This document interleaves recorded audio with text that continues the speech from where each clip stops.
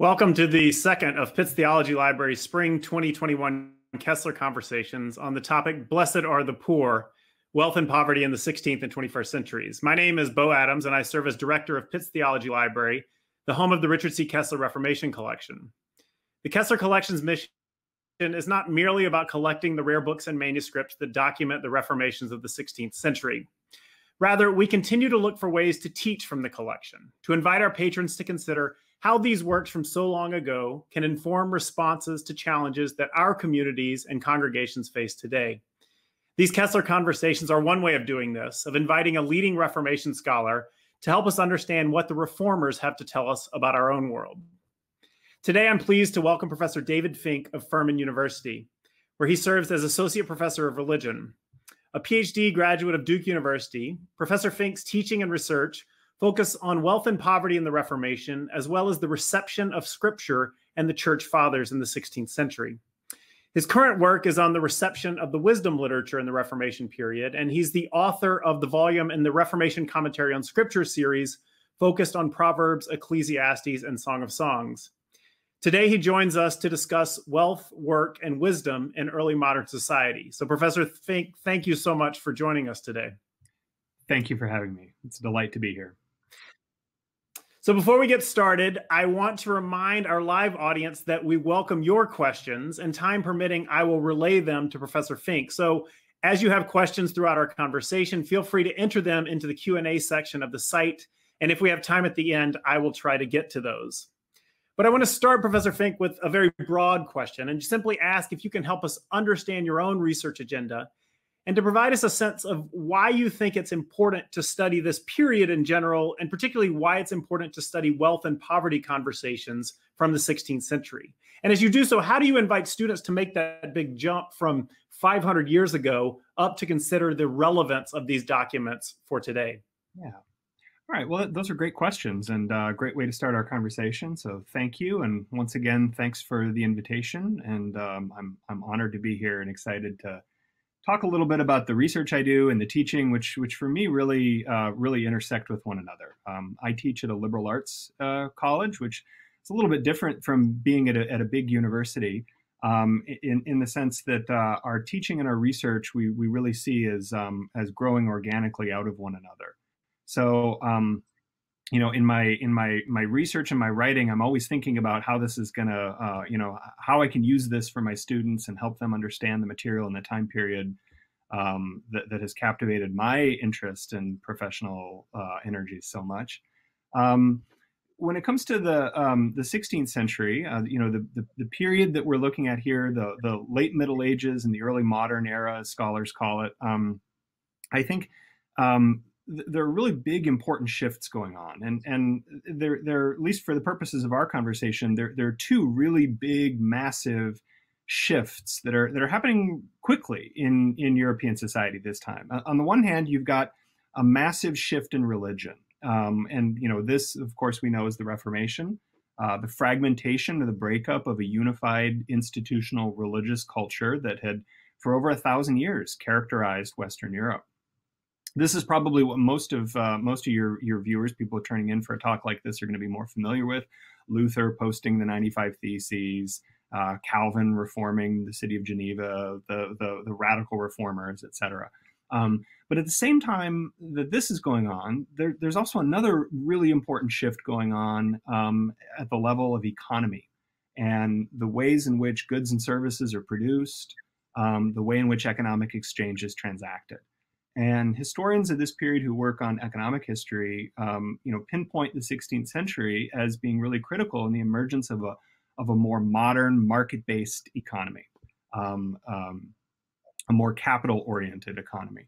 So, um, you know, my view is that these things are not accidental. Um, there have been lots of books written about this, lots of arguments of, you know, that oftentimes kind of end up being kind of chicken and egg arguments.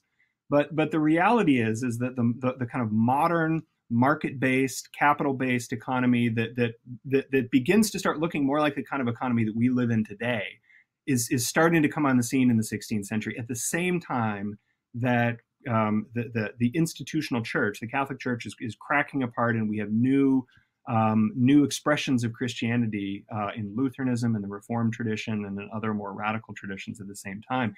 And these these developments are all interrelated to one another. Um, now, you know, when when I teach these classes here, in fact, for for uh, the last several years here at Furman, um, I've taught a class called Wealth and Poverty in the Christian Tradition, which um, seeks to, um, to, to look at the ways in which uh, faithful Christians in different eras have, have sought to understand the phenomenon of, of money and worldly goods and possessions, our, our ethical obligations to those who have less than us, and and how Christian faith is brought to bear in shaping um, economic life.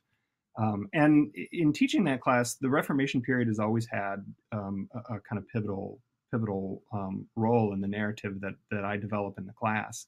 Um, but I think one of the the really important ways in which this is beneficial for students is that it takes us by, by looking at history that's a little bit further away from us.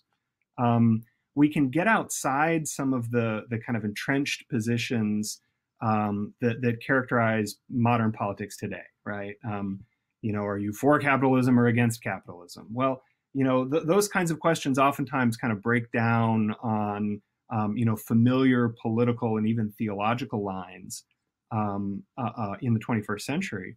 But when you start asking these kinds of questions about the role of markets and the role of, of, of, individual agency and what kind of obligation do we have to the poor, either as individuals or as a society, um, they just don't break down in the 16th century the way they do for us. And that, that opens up space, I think, for students from lots of different backgrounds to look at these questions with new eyes and see them in a different perspective and maybe realize that the tradition they're a part of, that they identify with, um, uh, has actually thought through these things in a really different way than than it does than it does now.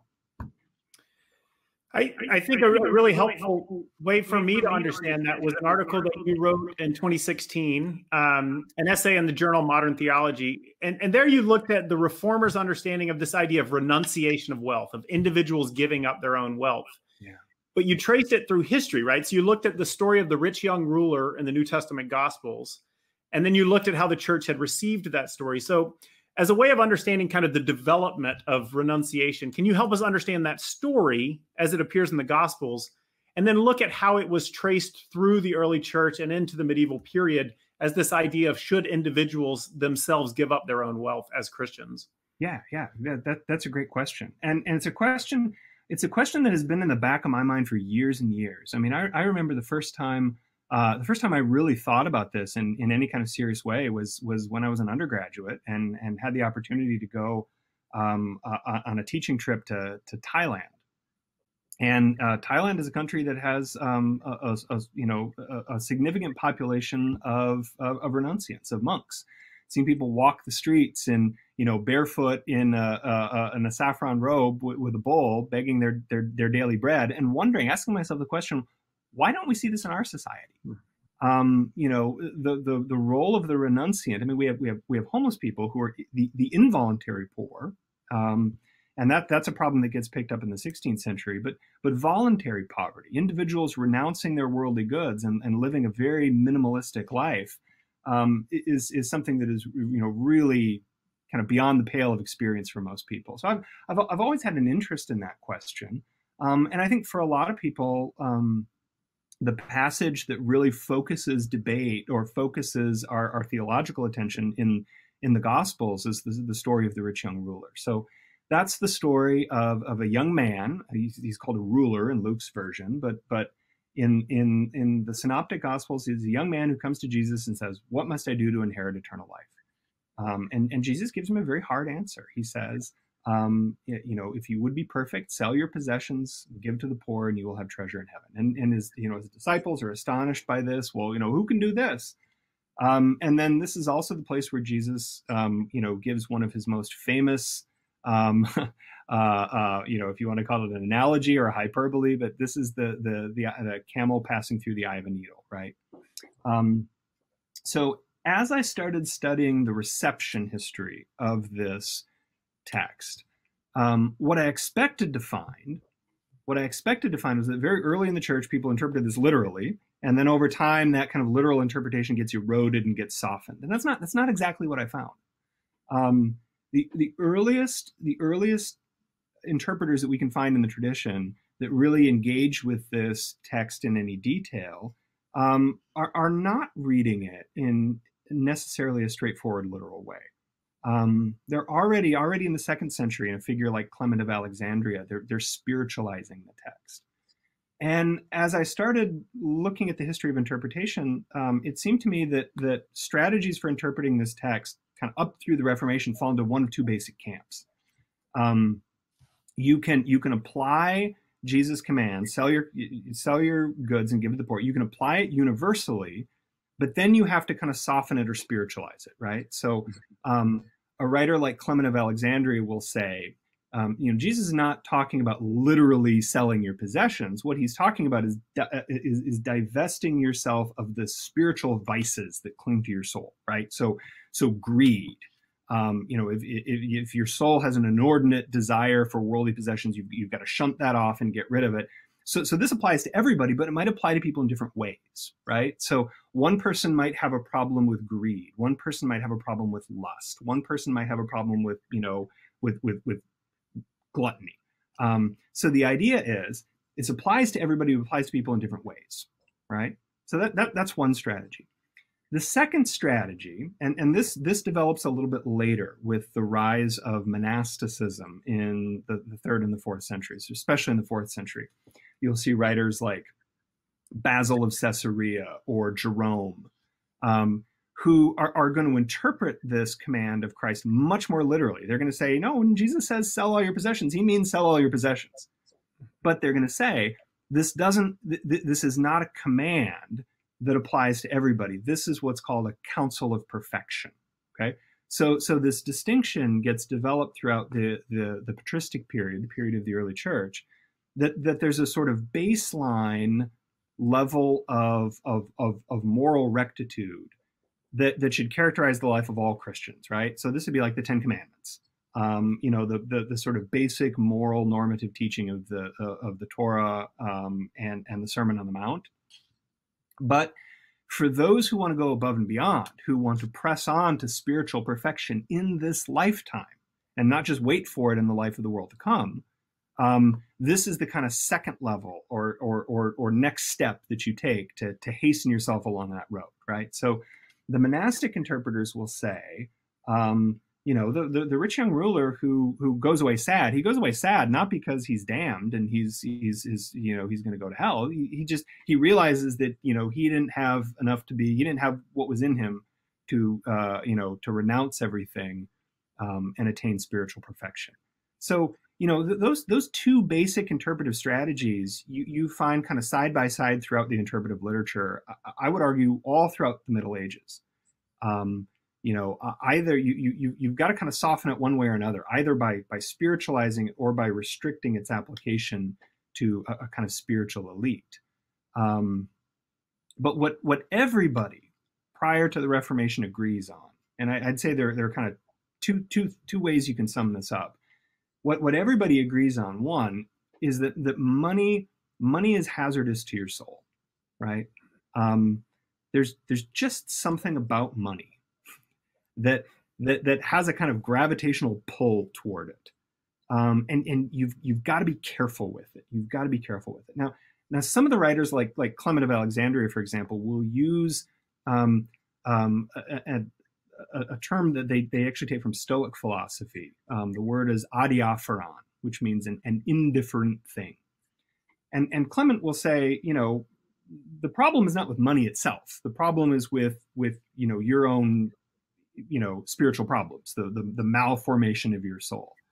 Um, but yet Clement will also talk about money as though it's something that has a spiritual weight to it. You've got to you know divest yourself of, of, of goods so that your you know your soul can rise up to God.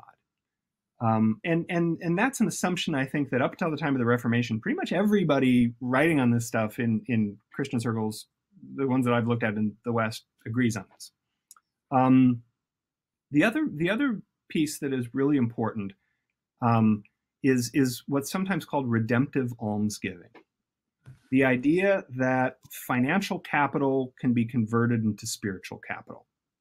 Um, uh, that that by giving, um, you know, by by by directly giving to those who are in need, or by giving to the church, um, that you're you're you're accruing merit in heaven.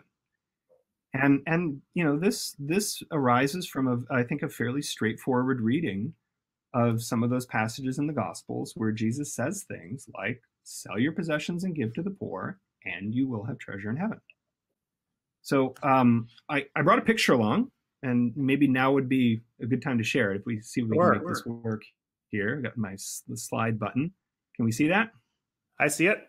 I see it. Okay, good.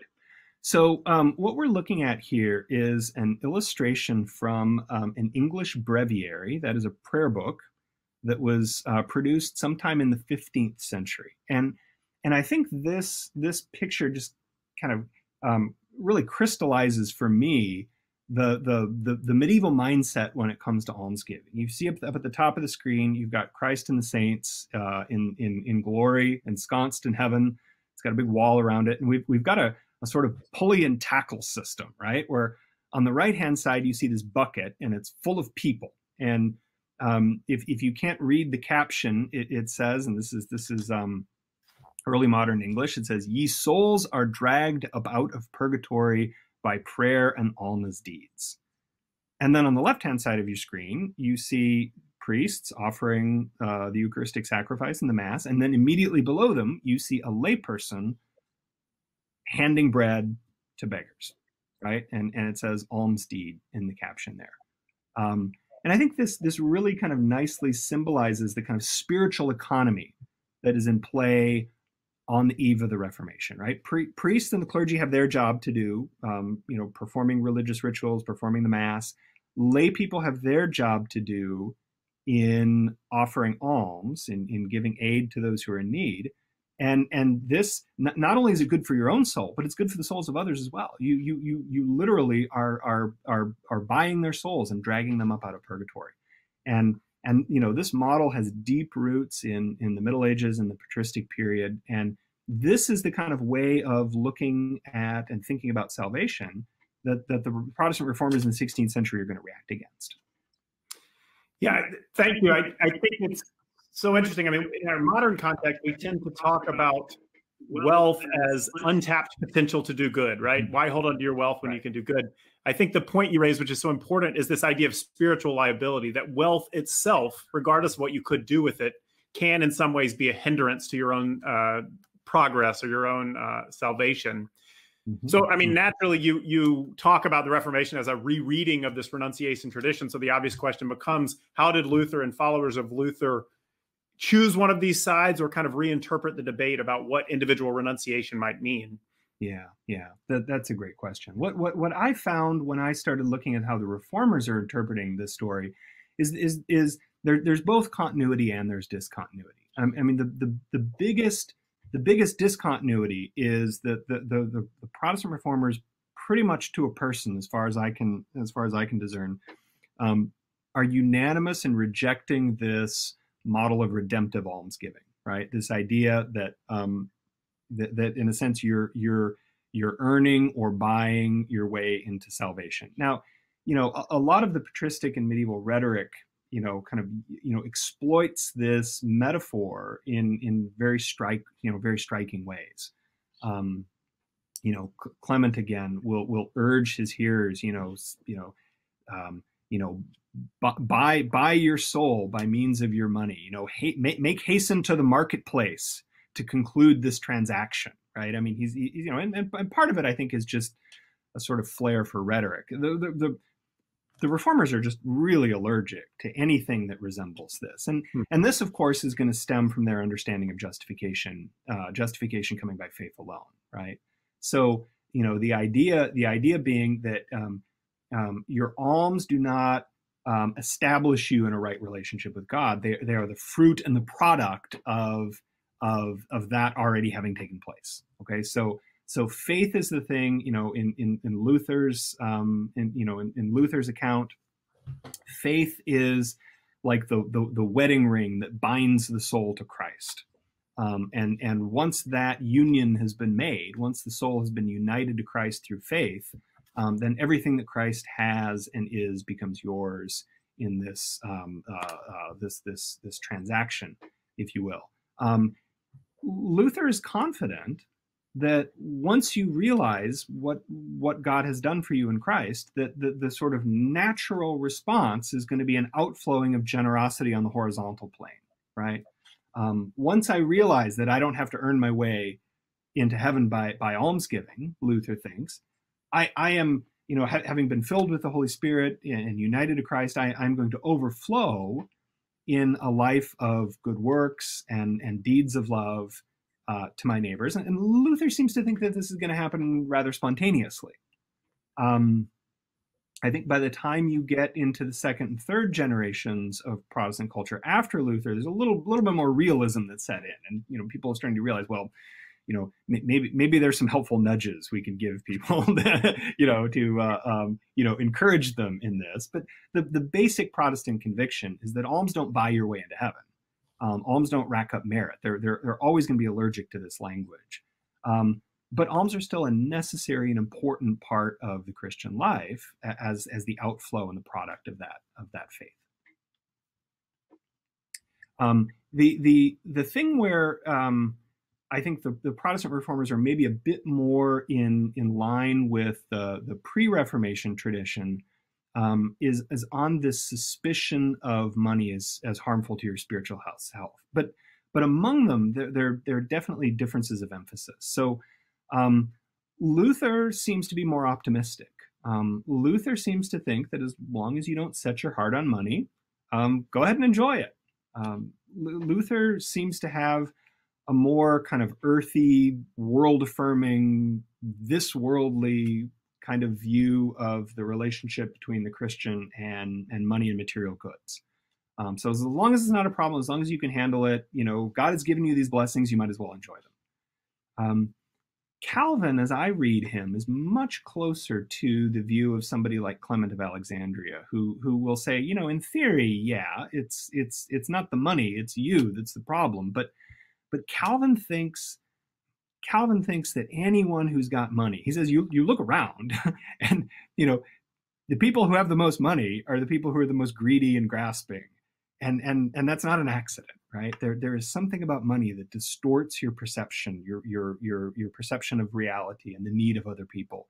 And so you know uh, you know this this goes beyond just exegesis and theology but but in places like calvin's geneva where where you know the reformation is really implemented um, you know in a lot of ways very thoroughly um, you know they have things like sumptuary laws laws that restrict um, you know ostentatious, ostentatious displays of wealth.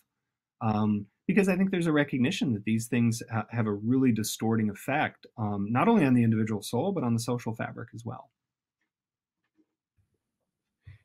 It's interesting that you, you mentioned the justification piece. We we met with uh, Esther Chung Kim, whom I know you uh, have worked with. Uh, we were talking about care for the poor, and there again, the the there's a tension right between this idea of your works don't justify you, and yet asking people to do things to support society and to care for the poor. So right. similarly, you you might ask, how can you tell someone to give up his or her wealth when in fact we've already decided that what one does has no role in the ultimate salvation of the soul? Yeah, yeah. So, you know, in a lot of ways, Protestantism um, aligns well with that strand of pre-modern thinking that that you know universalizes the command and says, well, you know, look, this this does apply to everybody. This is not you know not applying only to a spiritual elite.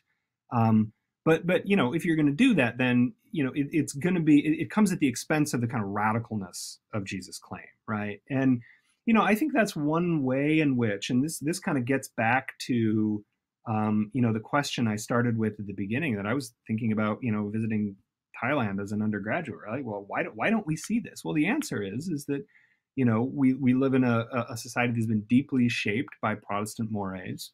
Um, and Protestantism has just not had a prominent place for the individual renunciant, right? The, the individual to make this grand gesture of, you know, you know, think, think, think St. Francis, you know, in in the in the town square of Assisi, right? You know, stripping off his clothing and handing it back to his father, and and naked following the naked Christ. I mean, that that that kind of gesture is just very alien, I think, to Protestant culture, to a Protestant mindset.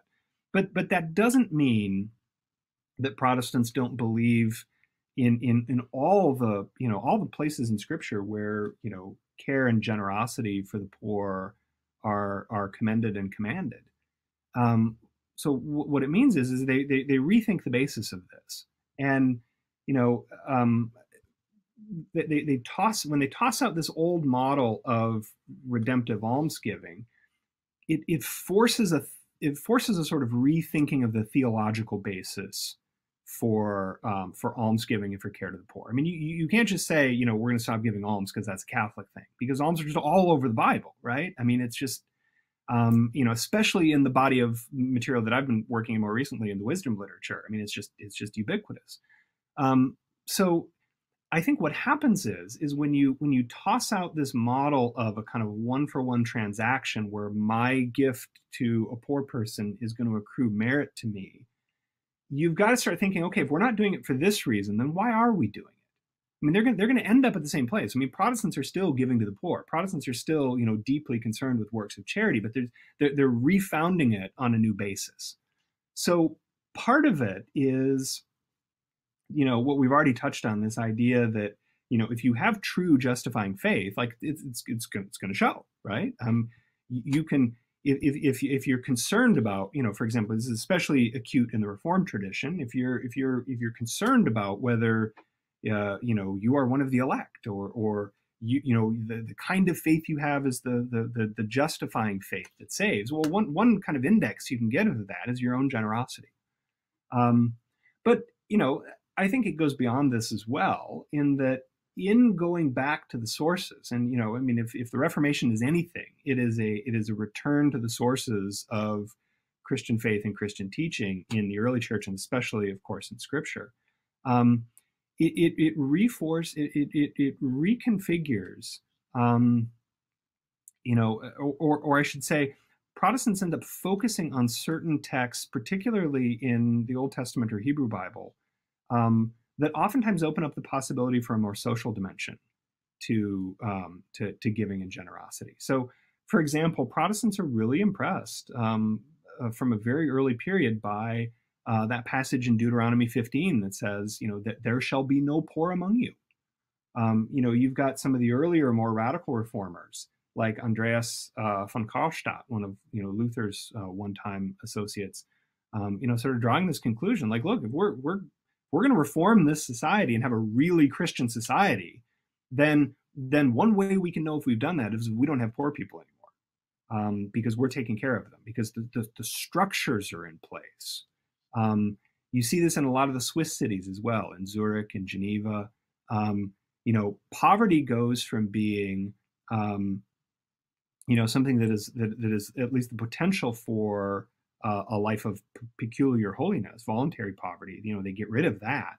Um, but then, you know, there's this sense of well, let's let's roll up our sleeves and figure out how we can do away with this together. And so you have, you know, I think in the the the, the late 15th and early 16th centuries, you have some of the first concerted efforts to address systemic poverty and, and people actually asking themselves well, what would it look like to live in a society where we didn't have poor people because we took care of them all um, and and then that's an idea that you know you you can trace right into the modern era.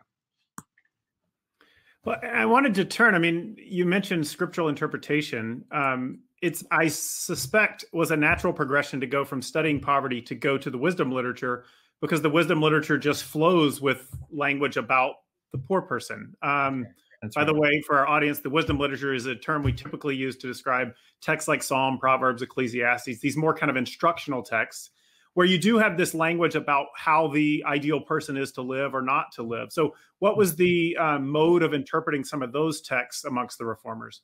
Yeah, yeah, great question. Um, I, have been for the last five or six years. I've been really immersed in this body of literature um, as, as part of this uh, this this series that InterVarsity is doing, the Reformation commentary on Scripture. And one of the aims of that of that series is to take um, biblical scholarship interpretation that, that has usually not been accessible to a non-specialist audience, which usually means people who don't read Latin, um, and, and, and make that more widely available. And given my own teaching and research interests in the history of poverty, that was, that was a natural place for me to go. Um, I, have I've seen one uh, modern biblical scholar describe the book of Proverbs as, as, as containing, you know, verse for verse. It's it's the most dense with material having to do with economic and um, um, uh, material material affairs, and and it's true. I mean, it's just it's just all over the place. Um, so you know what I've found as I've you know been been reading through commentaries and sermons and other places where the reformers engage with this is you know th- there are a lot of places where there's a lot of continuity with the medieval tradition. Um, you know, for example, um, one one sort of class or category of proverbs where you'd have a hard time telling a, a Protestant from you know a, a medieval or an early church um, commentator would be the cluster of proverbs that that condemn avarice and greed. Um, you know, uh, uh, the the the 16th century Protestant reformers are not Alvin are not uh, Adam Smith. Uh, greed is not good. Um, they, they are unambiguous in in condemning greed and for the most part affirming what what I would call um, an ethic of sufficiency. So, you know, think of a proverb like um, neither poverty nor riches, just give me my daily bread. Um, Protestants are going to expound a proverb like that, you know, in, in much the same way that, you know, people in any period prior to have been. You know, there, there, there's, there's a danger with having too much wealth. There's obviously a danger w- with having too little. Um, God has provided a, an abundance of material goods for our health and for our comfort. Um, but but beyond that, you you know you need to be thinking in terms of what you can do to help those who are less fortunate. Um, but but there certainly are other passages and other kind of clusters of proverbs um, that are starting to get uh, reinterpreted in different ways. Okay, so um, you know a, a, proverb like Proverbs uh, Proverbs nineteen seventeen. Um, you know the the one who is generous to the poor lends to the Lord and the Lord will surely repay him. You know, in in the Middle Ages, um, a proverb like that fits very neatly into the model of redemptive almsgiving, right? You know, I give this money to a poor person. I'm not really giving it to the poor person. I'm giving it to God, and I'm expecting a payback that is going to come, you know, beyond this life, either reduced time in purgatory or, um, you know, uh, in some other way. Um, you know, Protestants are, are they want to affirm that um, that that that these kinds of transactions occur within um, a moral order that God has established. Um, they they will say, you know, of, of, course, when you give to the poor, um, you know, this this is a good work that God is going to reward. But but but but that's a sort of something that takes place after, over and above um, what is established by faith in, in justification, right? So, um, you know, there, there is a doctrine of proportional rewards among some of the Protestant reformers. Um, some of them will read it, so, you know, sim- simply in terms of the sort of um, moral structure of, you know, how human society and the human psychology is, is, is established, right? I mean, people who are habitually generous get a reputation for being generous, and people like them and they respond well. So, I mean, there's there, there are different ways of, of parsing it um, you know, they're still going to interpret it as, you know, a, a strong, um, you know, moral impulse to generosity, but they're just going to have to tweak it in certain ways. Um, you know, the passages uh, against usury, condemnations of usury, are, are, beginning to be understood a little bit differently. And, you know, people sometimes want to, um, you know, um, blame the, the, the the demise of the the, the Christian um, uh, uh, prohibition of usury on Protestantism, which is which is not accurate. Um, you know that that that norm had been eroded for several centuries already, but but um, you know you do see Protestants beginning to kind of make this a little bit more explicit when it comes to some of these proverbs and, and making distinctions, right? You know. It's one thing to take advantage of a poor person by charging interest on, you know, to somebody who's in desperate need um, but it may be a different thing to charge interest on a loan to an investor who's you know looking to to increase their business. Those those might be differences we can we can make a distinction on. So so you're starting to see you know on some of those practical questions, Protestants are beginning to read some of these proverbs a bit differently. Well, I, you mentioned Adam Smith. You mentioned greed is good. So I want to switch to our American context, uh, where in many ways wealth, possessions are now signs of success and hard work, right? So we we we praise the person who has accumulated a lot on the assumption that he or she um, has worked hard. And of course, interestingly, we often refer to this as the Protestant work ethic. So I'm curious how you see that. Is that is that a fair reading of the Protestants, or have we kind of stretched that idea because it seems pretty far from the the way you're describing wealth uh, 500 years ago? Yeah, yeah, I, th- I think you're right, Bo. I mean, we, we've um, you know, part of this is just the sort of wild success of a of a very particular academic argument um, that some some of your viewers may be familiar with with Max Weber, the the, the famous German sociologist and scholar of religion. His his essay, "The Protestant Ethic and Spirit of Capitalism." Um, you know, one of these arguments, uh, you know, it's, it's one of these academic arguments that has almost been too successful in the sense of like a, a sort of, you know, it's, it's been a victim of its own success.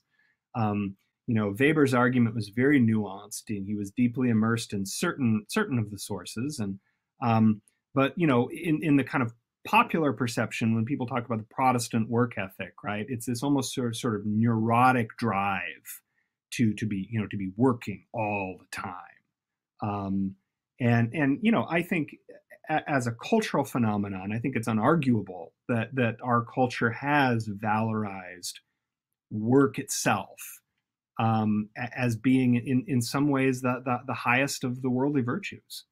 Um, you know, I, I um, you know, thinking back to my my own family background, um, you know, I, my my grandparents who who grew up during the Great Depression, um, you know, were um, nominal Presbyterians. Um, the, the, the highest compliment that um, my grandparents would would give somebody was to say that they were a hard worker. You know, so and so, oh, they're they're they're hard workers. Um, you know, that was tantamount to you know honesty, integrity, um, you know, probity. Um, you know, the, the the the the backstory on that with the Reformation is is long and tangled. Um, but you know, Weber's argument has to do with the point I made a little bit earlier about how, with in the Protestant understanding of justification, the relationship between faith and works is reversed from the Catholic model, right? Instead of being instead of works being the thing that draw you closer to God, works are the things that show that you've been drawn closer to God. But but in the lives of uh, at least some Protestants, you know, there there, there is a certain uncertainty that that that that that, that model introduces, or, or what I would actually say is, is it is it reconfigures the uncertainty, it, it rearranges it. So, on the Catholic model, um, you know you receive justifying grace through the sacraments. You cooperate with that grace in striving toward spiritual perfection. The uncertainty in the catholic model is always in the future right? And the uncertainty is i can i can commit a mortal sin remove myself from a state of grace and die outside of grace and my soul can be lost right? So that that's that's the kind of uncertainty um, of salvation that i have at a sort of individual subjective level Protestantism removes that, at least at least in certain versions of Protestantism. Weber's looking at it, you know, in, in the Reformed tradition. You know, you're you're predestined, you're justified. Justification is a once for all deal. It can't be undone. You don't you don't go in and out of a state of grace the way you do in the Catholic model. Um, but instead of being worried about, you know, I might commit a mortal sin and lose grace, the the worry in the Protestant model is maybe maybe I didn't really believe to begin with right? Like maybe maybe the faith I have was you know because there's there's false faith, right? There there's some people you know they call it presumption. Um, um, you know, people people who believe or believe in the wrong way, or uh, you know, they're, they're they're not elect. How do you know? And you know, I think it's probably always a subset of of uh, Christians within these categories. You know, there's there's at least the possibility for a certain you know inward looking neurotic concern about well, how do I know that I'm elect? Um, well, one way you do that is by by you know looking at your life. Are you you do give generously to the poor? Um, so you know Weber makes the argument that, um, and and I think you know in some ways this is this is an overstatement. Um, but but Weber makes the argument that that this leads to a kind of neurotic obsession about good works. We're not trying to earn our way into salvation. We're trying to prove to ourselves that we have been saved. Um, so you know and, and so so Weber argues that this is this is where this idea of a kind of you know viewing viewing your um, your work in in worldly um, you know your worldly vocation your worldly profession uh, as, as, being service to God right? I mean, you know, you you may be you may be called to you know work at McDonald's, um, and and you know, in Luther's telling, um, you know, that that is just as holy as being a monk and saying masses, um, you know, as long as you do it in the right spirit, right? So so it infuses the idea is that it infuses all of you know secular um, vocations with with uh, with with with a spiritual dimension. Um, Weber thinks that this also leads to, you know, a sort of obsessive, um, you know, uh, um, uh, uh, yeah, an, an, obsessive view of work, right? You're, you're, trying to prove to yourself that you've been saved. I, think when you actually look at the literature, though, that that's that that really is in some ways an overstatement. And one of the places where I think you see this most most clearly is in Protestant um, uh, uh, interpretation of the Proverbs, the Book of Proverbs. Um, you know, um, one of the the sources that I found most interesting and and at times even funny, um, illuminating uh, in certainly illuminating in, in my work has been Philip Melanchthon's commentary on the Proverbs. You know, Melanchthon was Luther's right hand man in Wittenberg, um, and um, Melanchthon reads the Proverbs through the lens of a, a kind of Aristotelian virtue ethics. And so, um, you know, for those of you who may not be familiar with Aristotle or, or his account of ethics, you know, um, virtuous behavior is always is always the golden mean between two extremes, right? So, um, you know, courage is the, the, the midpoint between cowardice and rashness. Um, and when when um, Melanchthon approaches the Proverbs, he, he, he wants to read the Proverbs as a sort of primer on Christian virtue. You know, uh, Romans and Galatians are going to tell you about how you get saved on the vertical axis. And Proverbs is going to tell you how to live your life on the horizontal axis. It's going to give you like very practical guidance and modeling for, for how you interact with people, what you do with your money, um, you know, how you serve God faithfully in your vocation. Um, and one of the one of the the kind of clusters of proverbs that I found really interesting in Melanchthon's interpretation is the the the proverbs that I I still remember from my childhood. Um, you know, my parents, my you know, my, my mother would see me sitting down on the job, and it was "Go to the ant, thou sluggard, consider its ways and be wise." Right. Well, most most medieval and frankly even most protestant interpreters look at that and you know insofar as that requires any elaboration you know it's going to be finger wagging at lazy people you know don't be lazy be like the ants melanchthon comes along and he says okay yeah being lazy is bad you don't want to be lazy but but that's one extreme right what what is the opposite extreme of laziness um, and melanchthon says uh, he actually he, he doesn't have a word at hand for this, so he coins one. He, he it's, it's, it's, a Greek portmanteau word, uh, polypragmosyne, which I translate as being a busybody, uh, many workedness, right? Um, Melanchthon says the you know he spends a lot more time excoriating people who have this frenetic need to be working all the time. You can't sit still and just be in the presence of God you you you've got to be doing something all the time, all the time, right? Um, the, the, an, another place where, where for Melanchthon this this term crops up is in is in Luke chapter ten, the story of Mary and Martha. Um, you remember Jesus goes into the, the home of Mary and Martha, and Martha's the one who's you know juggling all the pots and pans and getting the dinner on the table. Mary's the one just sitting at his feet, adoring Christ. Um, medieval interpreters had, had oftentimes read that as as illustrating the difference between lay life and monastic life, right? Lay people are ones who, you know, build the roads and farm the fields and get stuff done. They don't have much time to pray. Monks are the ones who spend all their time adoring Christ. Melanchthon comes on and says, no, that's not what it's about. It's about, um, you know, it's about people who don't have the proper balance in life, right? The Marthas are the people who think they have to be working all the time and don't have time to just stop and worship. Um, and, and we need, Melanchthon says we need to be both. You know, sometimes you need to be a Mary, sometimes you need to be a Martha. So you may be the first person to call Melanchthon's commentary on Proverbs funny, but I appreciate it, and uh, it's proof that these can be entertaining texts to read. So um, we're, we're, running tight on time. I want to ask a couple of more questions. The first is my selfish library question. Um, certainly during the pandemic, I think we've all kind of had to reconfigure our lives, whether that's teaching or research or, or what have you.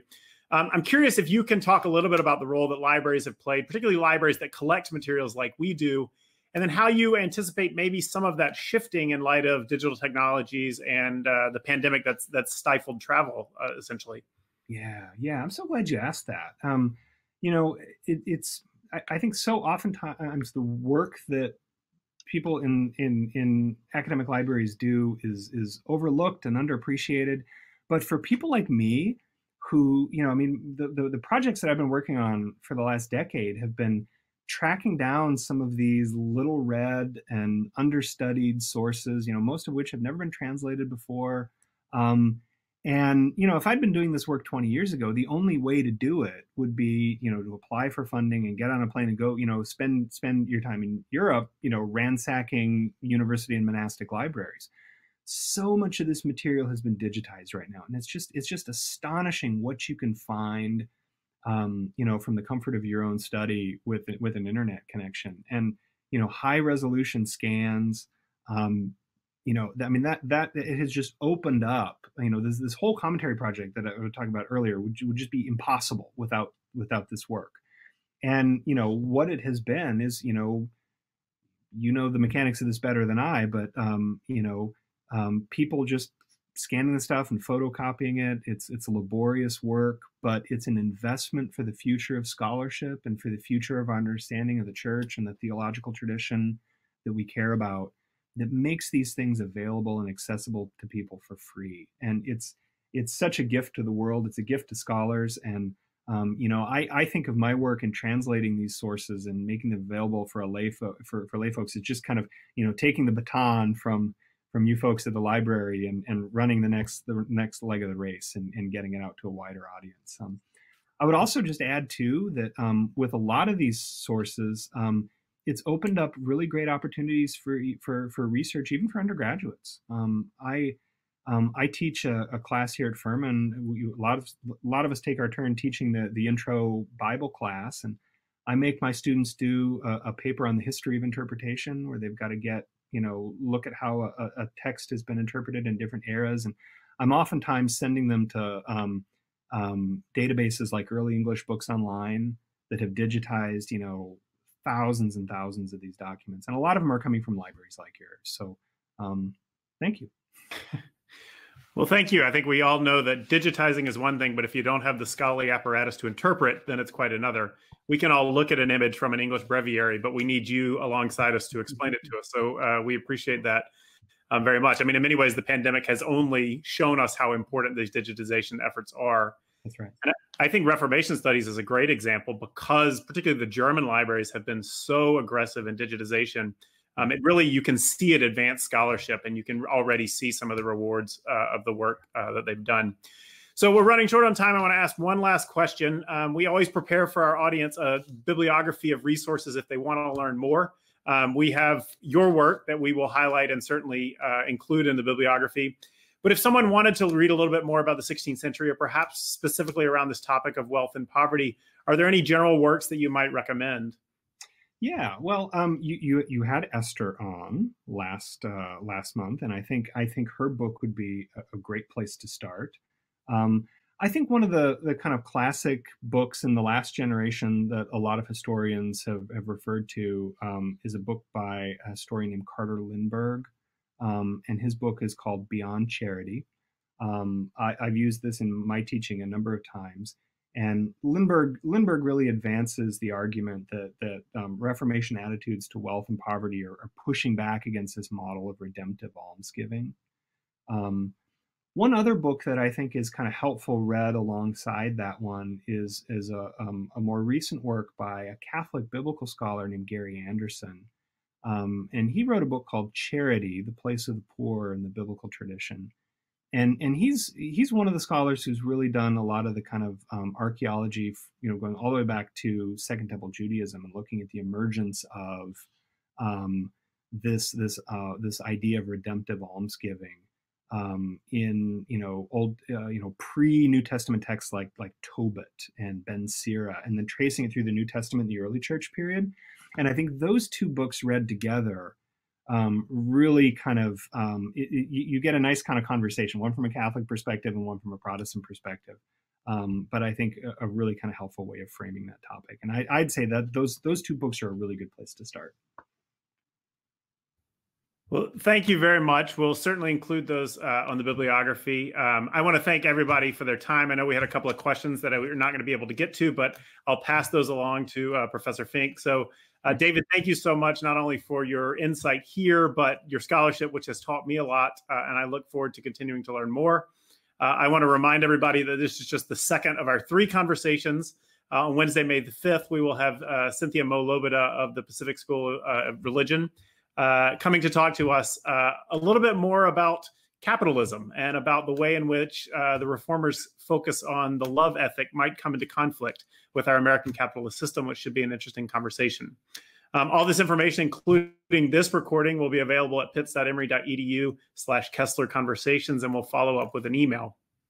Otherwise, thank you, Professor Fink, for your time. Uh, thank you all for your attention, and I hope you all uh, stay well and stay safe in the coming week. Thank you.